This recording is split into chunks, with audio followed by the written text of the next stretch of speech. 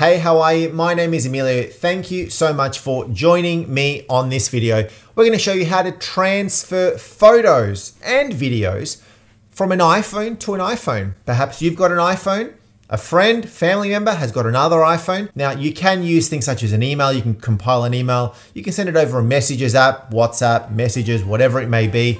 But there's an easier, quicker way that is built right into the iPhone and we're gonna be showing you how to do that today.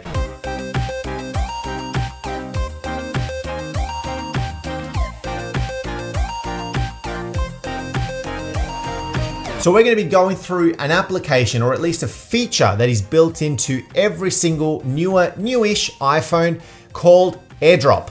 Now, before we show you this, uh, please make sure that you're running a relatively new iPhone, at least one that is a few years old, um, nothing really old, and that you have it at least updated to a newish or the latest version of Apple's iOS, which is the operating system for the iPhone. That way you're ensured that it's gonna run smoothly and it will work the best that it can work. Now, the one thing that you will need to do is ensure that you've got a couple of things on to ensure that it just works as easy and as smoothly as possible. Make sure you have your Wi-Fi turned on and your Bluetooth turned on because it just ensures that the connection between an iPhone to an iPhone works a lot more smooth. So let's cross over to my iPhone now and show you how this AirDrop feature works. All right, here we are, iPhone 1. All right, so I'm gonna go into my Photos app right here and I've got a number of photos. Okay, these are a whole bunch of photos. All of these photos I want to transfer to another phone. So literally all I'm gonna do is I'm gonna select on the very top right hand corner, click on select.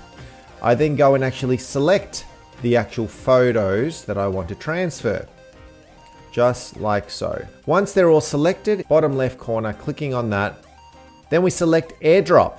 All right, you'll see that listed right there, the very first option. So listed devices will show up right here, including other iPhone. You select on the device, it'll then say waiting, iPhone number two.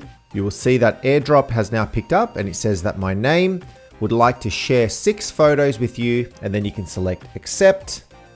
And now those photos have now shown up on that iPhone.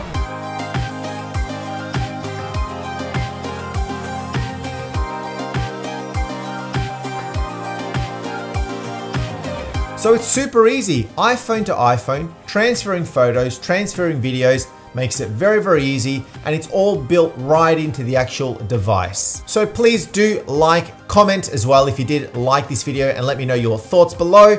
And as always, click on the subscription button and on the bell so you don't miss out on anything.